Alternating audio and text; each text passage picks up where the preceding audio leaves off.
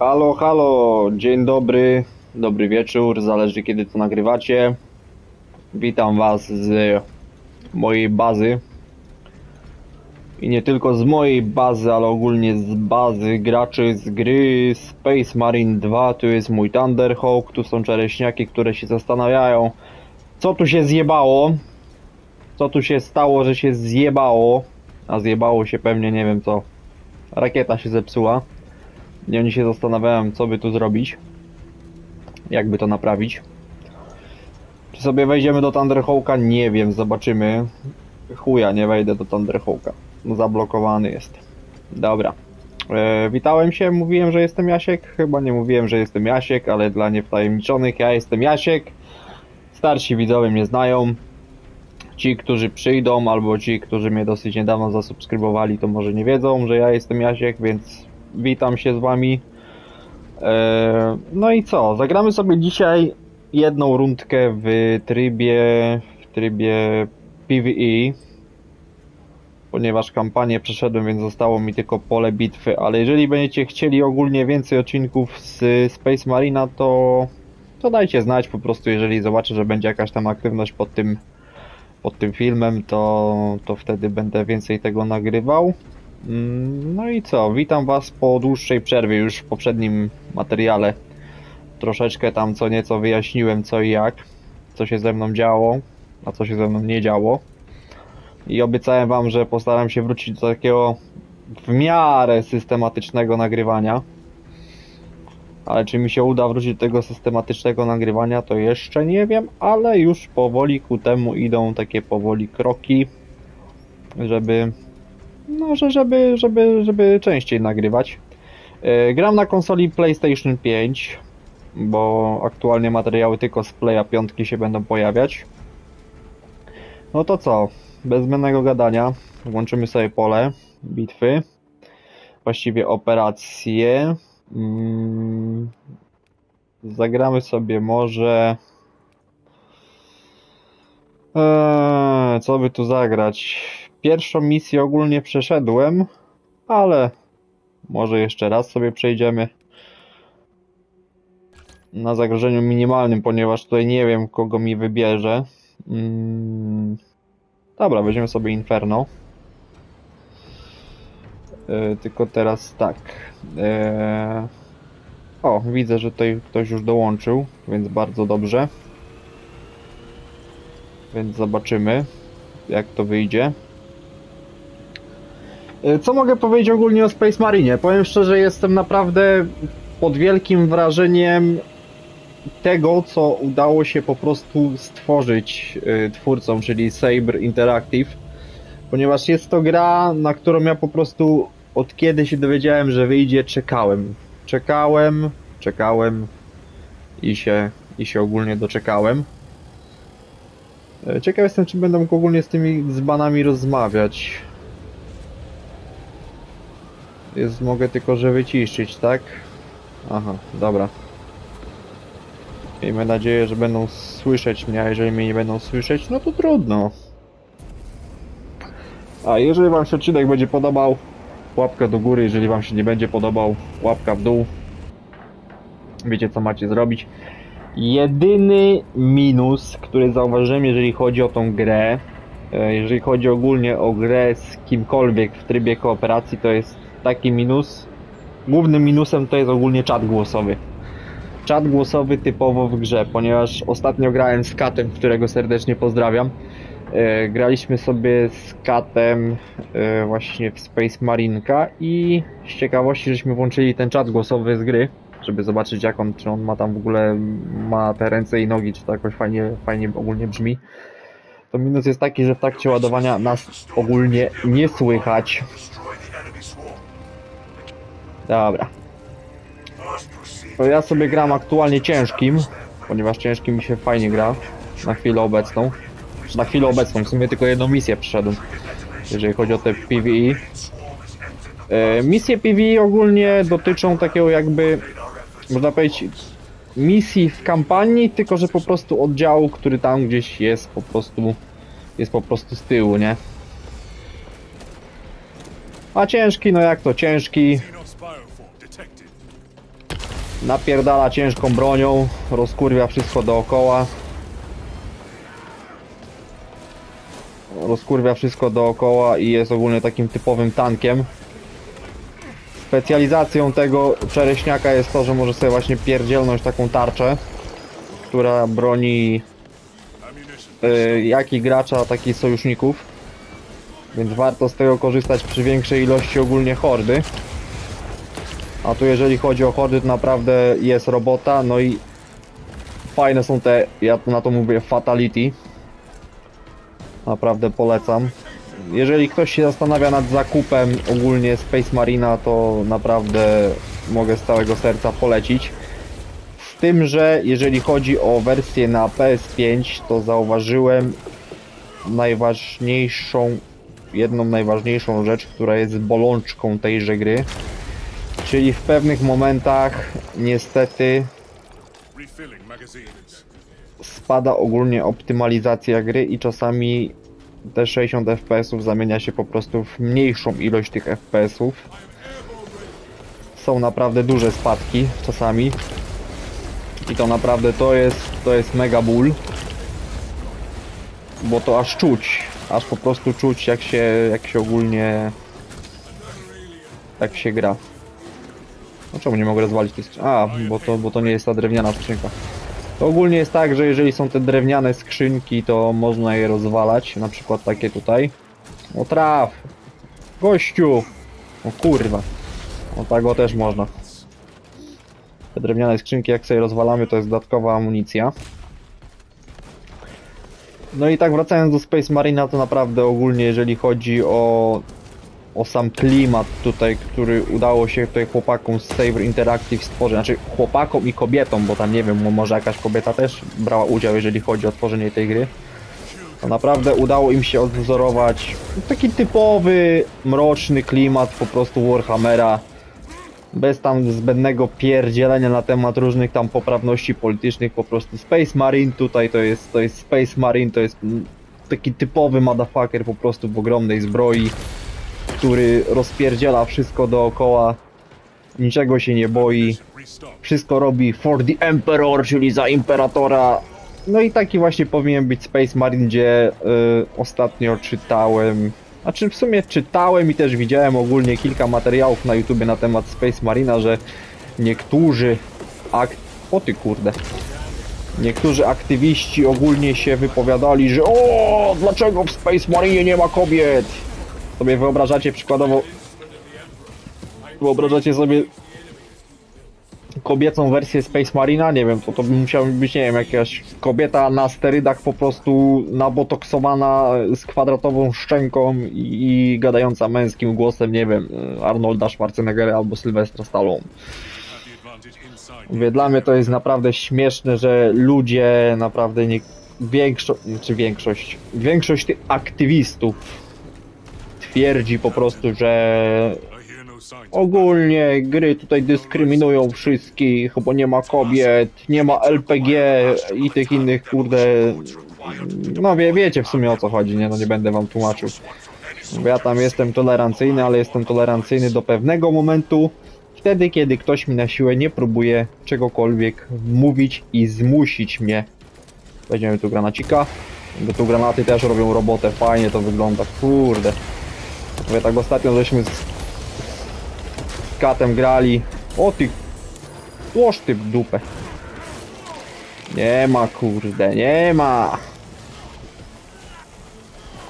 Rozpierdzielony czereśniaczek, ja cały oczywiście we krwi. Jak to prawdziwy Space Marine. Dobra, interakcja. Nie ma nic, ale jest wzmocnienie pancerza, to sobie bardzo chętnie to wezmę. To wzmocnienie pancerza powoduje to, że wtedy mamy po prostu większy pancerz, w sumie jak sama nazwa wskazuje. E, dobra, musimy iść dalej, te przeszukać te ciała żołnierzy. Aha, tu widzę, że już... O. Gadim! To bardzo dobrze, że masz Gadim. O, dane zbrojowni. Przyda się. No i jeszcze tak wracając do Space Marine, no to właśnie mamy kampanię, no która nie należy do długich, bo w sumie tak spokojnym takim tempem, tam szukając może nie wszystkich znajdziek, ponieważ ja sam tych wszystkich znajdziek nie mam, ale szukając większości znajdziek, no to kampanię macie na takie 6-7 godzin, no zależy po prostu jak gracie, bo jeżeli gracie jak taki typowy rusher, po prostu, że tylko lecicie crash it and smash it, jak to się mówi,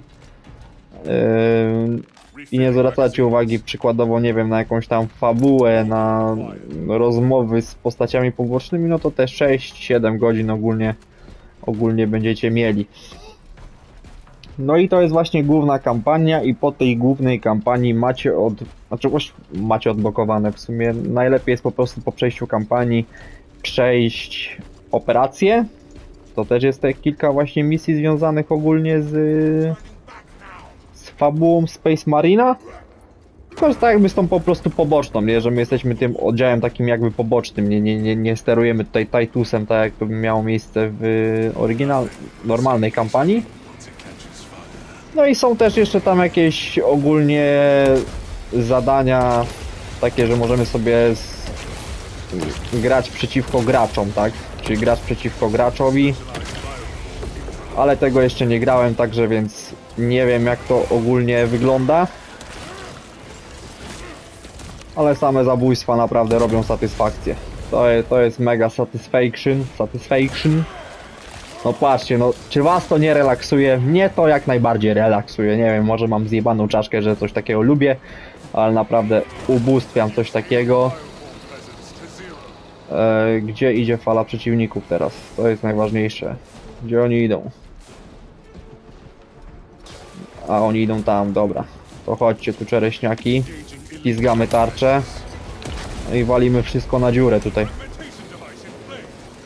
No właśnie ta tarcza powoduje to, że jesteśmy tam ogólnie w jakiś tam pewien sposób nieśmiertelni przez jakiś czas. Wiadomo, że to nie jest notorycznie, że cały czas to macie, tylko po prostu się to co jakiś czas odnawia. Ale powiem wam szczerze, ja grając teraz ciężkim, no to naprawdę nieraz mi to dupsko uratowało. I powiem szczerze, gra naprawdę pomimo tego, że aktualnie gram na łatwym poziomie, bo to jest łatwy poziom trudności, to naprawdę jeżeli jesteście sami i gracie przykładowo z komputerem tylko i nie gracie z jakimiś tam swoimi znajomymi czy z innymi graczami, to gra naprawdę potrafi być wyzwaniem. A w szczególności te strzelające ciule, których ja nienawidzę, dosłownie nienawidzę,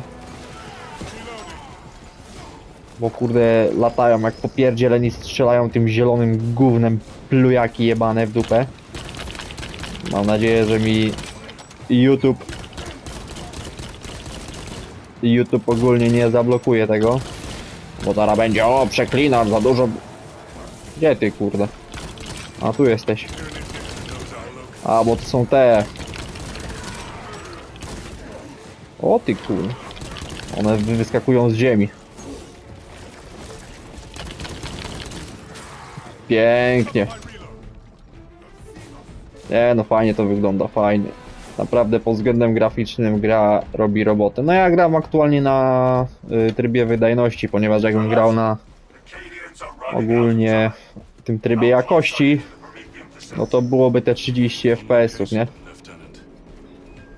No i to co mi się też podoba to e, to, że teoretycznie na chwilę obecną twórcy gry mają w planach, żeby rozwijać tą produkcję do 2025 roku. Czyli mają e, co jakiś czas po prostu dodawać nową zawartość do gry. No i w sumie tak ostatnio z Katem gadaliśmy sobie, że zastanawiam się ogólnie nad, nad kupnem e, sezon pasa do, do Space Marina. Ale to czas pokaże. O, amunicja się przyda. Ale to mówię, to wszystko zależy od tego, czy w ogóle się będzie opłacało. Ja po prostu poczekam na pierwszą informację, że już coś zostanie dodane.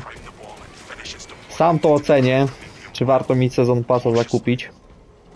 No i wtedy tego sezon pasa po prostu po prostu kupię. No i tak jak już mówiłem wcześniej, jeżeli chcecie więcej materiałów ze Space Marina, może kampanię będziecie chcieli zobaczyć, może nie wiem, jakieś tam rozgrywki, nie wiem, z katem przykładowo, gdzie tam sobie pierdzielimy i śmiejemy się, to dajcie znać. Mówię, cieszę się, że tam, no w jakiś tam sposób... O, granaty. Yy... i Mamy do wyboru ogólnie cztery rodzaje granatów. Mamy tam minę, granat szokowy, granat przeciwpancerny i zwykły granat odłamkowy. O, dupa, nie ma nic. Ale dupa. Ale tu jest amunicja, to dobrze. O i tu właśnie są te bomby melta, to są takie miny, które po prostu rzucamy. I musimy nacisnąć przycisk i wtedy one są e, wtedy są po prostu odpalane te miny. Dobra, gdzie ta fala będzie teraz szła? Ta fala będzie szła tutaj chyba. Nie ma kurwa. Ale ta broń robi robotę. O, ten trzeci generator. I pyk! To jest też piękne, że można tak w locie te mniejsze, mniejsze czereśniaki ogólnie łapać. Ale mi wyjebał, ty. Co za gnój. Nie ma, kurwa, wypierdzielaj. Yeah, for the Emperor! Kurwa, ile ich tu jest. No jak sami widzicie, no czasami gra potrafi lekko przykrzaczyć.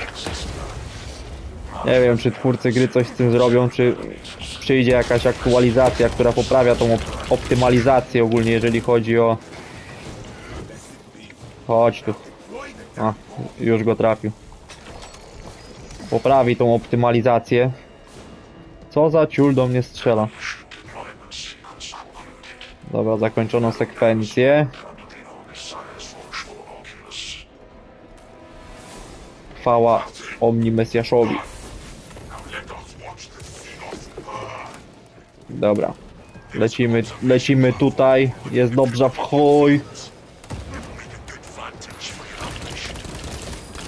O, te kurdy. Kurdy, co ja mówię? Kurwy.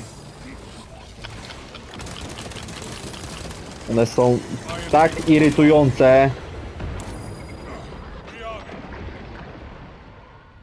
Te latające śmiecie. No właśnie powodują takie te halucynacje. O, spieprzył się na dół, już chyba nic z nim nie zrobię. Nie żyje jeszcze. Ale już nie żyje. To bardzo dobrze. Czy to wszystko? Czy coś jeszcze będzie? A weźmiemy sobie tą bombę melta. Może się przydać. On. Użyję sobie stymulanta i sobie wezmę tego. Dobra, gdzie musimy iść? A, musimy iść tam, dobra. No i powiedzcie, czy to zajebiście nie wygląda. No patrzcie na to. Coś pięknego. Dobra, interakcja, ja sobie buszka wezmę. Trzeba trochę oczyścić płuca. I lecimy tam. Aj, zjebałem. Zapomniałem, że to się... Że to się kładzie, a nie rzuca tego. Dobranoc. I pyk! Pięknie. Jucha tu normalnie leje się strumieniami.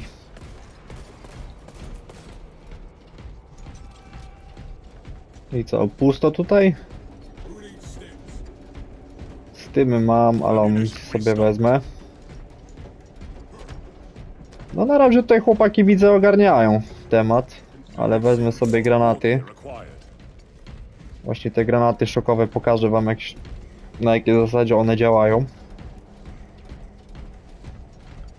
No i ciekaw jestem ogólnie tego trybu, gdzie tam właśnie jest PvP.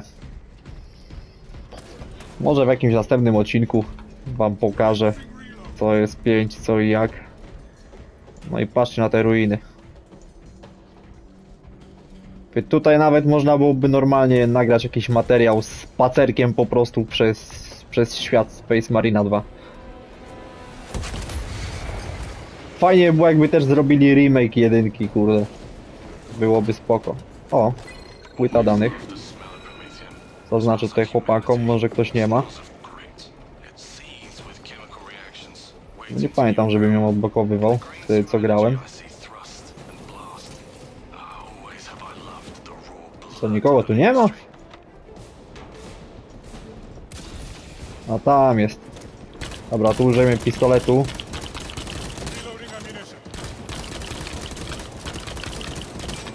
Pięknie zerwą na czaszkę.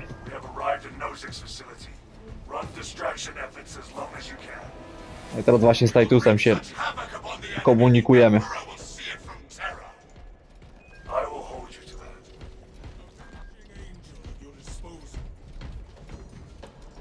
Na górę! Mood kicker.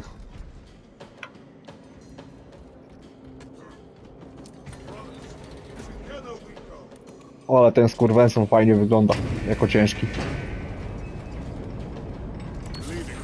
Dobra, użyjemy sobie styma. Begin,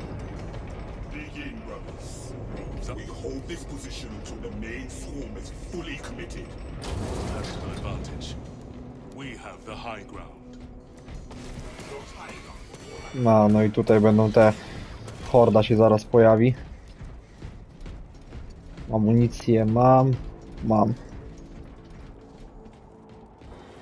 Pięknie to wygląda. Jest klimacik. Dobra, bo widzę oni kurde strzelają. O i tu właśnie użyjemy tego granatu szokowego teraz. Dzień dobry. Kolana na łeb i A patrzcie to. To jak kurwa wygląda pięknie. Właśnie zaraz ta horda się pojawi. Więc wezmę sobie tutaj stymulant. O, wzmocnienie pancerza. Przyda się. O, relikt gwardzisty. Relikt gwardzisty to jest taki itemek, który powoduje to, że jeżeli padniemy, to możemy się wskrzesić bez konieczności y, pomocy ze strony od innych graczy. A tu co jest? Aha, możemy sobie zmienić zestaw, ale mi multimelta wystarczy. Więc jest spoko.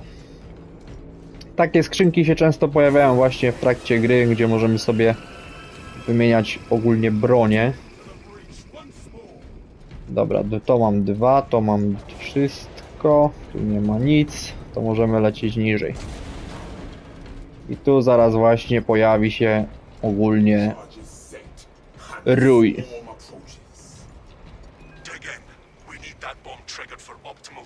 Weźmiemy sobie dwa granaty przeciwpancerne, w razie czego niech ten jeden szokowy sobie tutaj będzie. Dobra, no to czekam aż tutaj rojaczki się pojawią.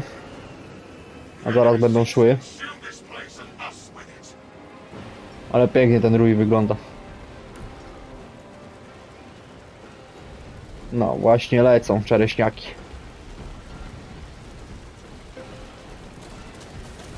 Normalnie jak... Normalnie jak horda. Burn.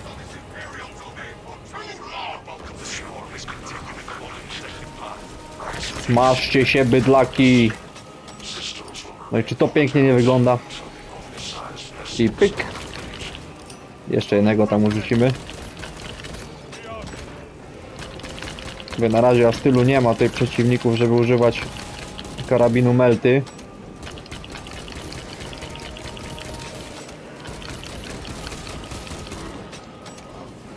A szkoda amunicji marnować. Gdzie kurwa, gdzie? Leżeć. Jednak se poleciał. Gdzie drugiej flanki mamy bronić?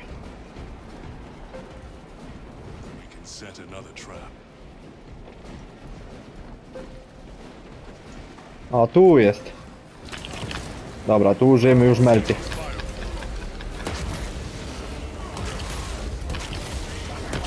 O, ale to robi robotę. O, O ty kurwa.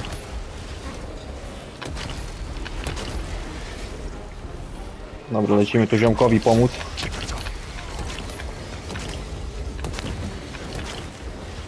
Pięknie. Pięknie!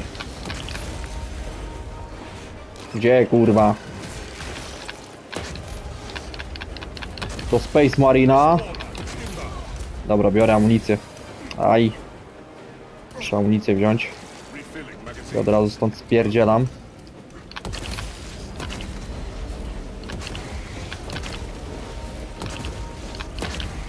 Te ciężkie to też kurde mocne są gnoje. Pięknie go rozerwało.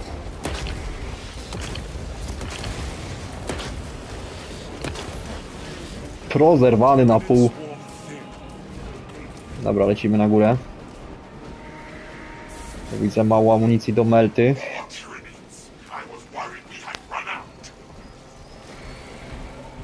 A stymulantów na razie nie potrzebuję, niech tu zostaną. O, lecą.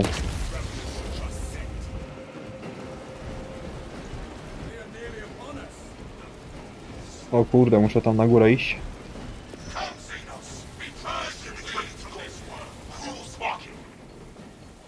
Co nie mogę użyć?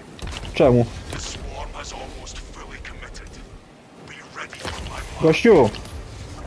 Szczym do ludzi, dosłownie szczym.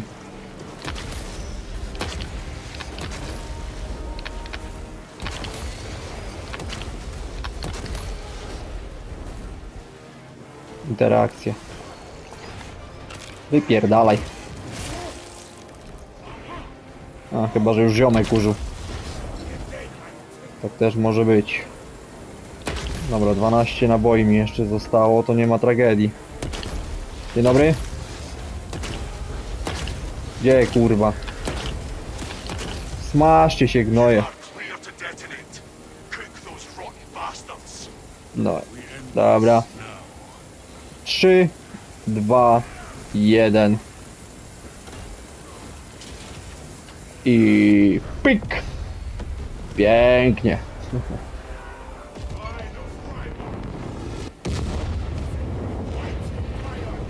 I czy to nie jest coś pięknego? O ty kurde. No co za gnoje ty. Wieżeś się uchował.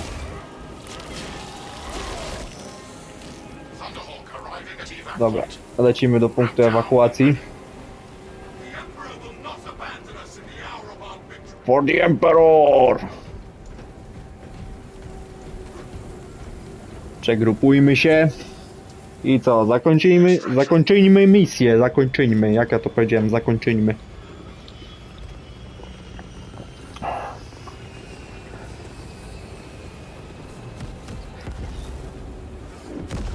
Pięknie Thunderhawk odlatuje. No i cóż ludziska, ja się będę z wami w tym miejscu żegnał. Jest zwycięstwo. A może jeszcze jeszcze jedną rzecz wam pokażę. Bo w trakcie ogólnie tych wszystkich e, że tak powiem tych dodatkowych misji dostajemy punkty doświadczenia i dostajemy punkty, które możemy wymienić na ulepszenia danej klasy, którą gramy. No ja chwilowo grałem ciężkim, także więc dostaję punkty, które mogę rozwinąć ogólnie. O, przyjęło się, kurde, uff. Ale mi się odbiło.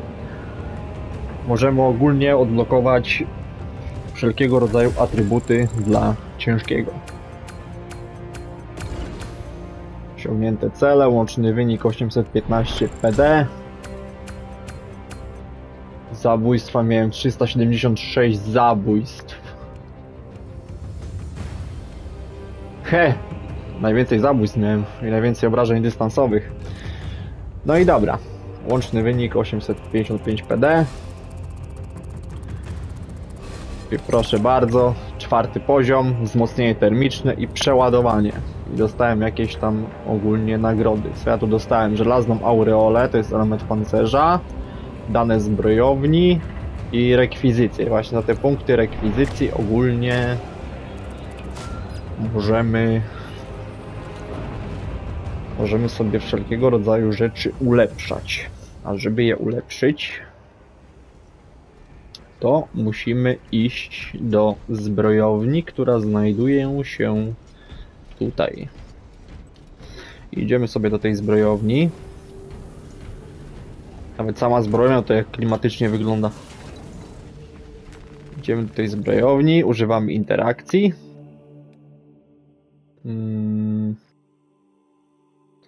Najwspanialsi wojownicy Imperatora niezmordowanie szlifują swoje umiejętności w oczekiwaniu na walkę. Symulacyjne scenariusze bojowe hipnomatu zapewniają bezbłędne odwzorowanie warunków wojennych. A weźmiemy sobie tą multimeltę i możemy sobie tutaj odblokować takie właśnie tutaj pierdolniki na przykład właśnie alfa, beta i gamma. I tu za każdym razem możemy właśnie sobie coraz to bardziej odblokowywać między innymi broń, a my sobie użyjemy teraz alfy. Weźmiemy A, zjebałem to teraz.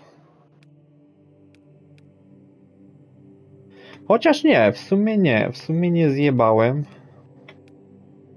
Bo wziąłem sobie betę teraz, a dzięki becie będę miał ogólnie większy magazynek. I to mi się przyda. Troszeczkę to spieprzyłem, bo nie zauważyłem.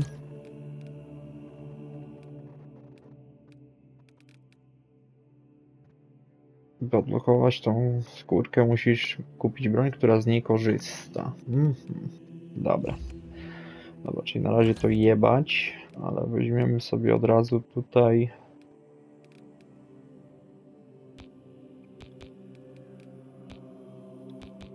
A, nie mam reliktu, dobra.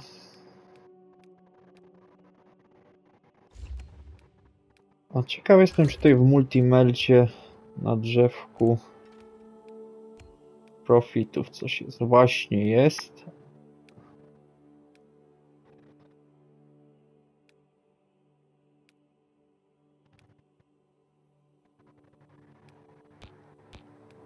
Nie ma nic, dobra. Czyli możemy tylko wziąć teraz na razie pistolet boltowy. Drzewko profitów i sobie możemy odblokować. Obrażenia zadawane wrogom rangi terminus zwiększają się o 10%. Maksymalny rozrzut zmniejsza się o 10%. Sobie weźmiemy ten rozrzut. Bardziej nam się to przyda. No i tu jeszcze właśnie w trakcie rozgrywki możemy sobie edytować pancerz. Mamy tutaj takie właśnie zestawy pancerza. Mamy tu zakony Astartes, ale właśnie chcę coś zobaczyć. Te zakony Astartes i z delceków. Czy z delceków coś mam? Nie mam nic. Możemy sobie tylko własny zestaw pancerza zrobić, więc edytujemy zestaw pancerza, a i możemy sobie zmienić sprzęt wojenny teraz. Aha, możemy sobie teraz wziąć żelazną aureolę. To sobie użyjemy. Tu nie mam nic. Bo tu muszę osiągnąć trzy zwycięstwa. No i to w sumie tyle, jeżeli chodzi o tą o tą postać. A nie, bo tu jeszcze mam drzewko profitów, dobra. Wzmocnienie termiczne. Gdy broń dystansowa jest rozgrzana w 50%, obrażenia dystansowe zwiększają się o 15%. I to sobie wezmę, bo to się przyda. No i cóż ludziska, w tym odcinku to by było na tyle. Mamy taką teraz dojebaną aureolę. W tym odcinku to by było na tyle. Ja się będę z wami w tym miejscu żegnał. No jeżeli chcecie więcej odcinków ze Space Marina, to dajcie znać w komentarzach. Dajcie znać w komentarzach jakimiś łapkami w górę, jakimś po prostu komentarzem. Zajebisty odcinek, Jasiek, chcemy więcej. Wiecie o co chodzi, nie będę wam tłumaczył. Ja się z wami w tym miejscu żegnam. Na razie i cześć.